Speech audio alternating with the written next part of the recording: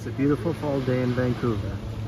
We're looking towards Kitsilano Beach and beyond that, West Point Grey and UBC on the west side of Vancouver. English Bay. In the distance is Vancouver Island and we've got some of the other islands in West Vancouver. Burrard Inlet. And now you see Stanley Park.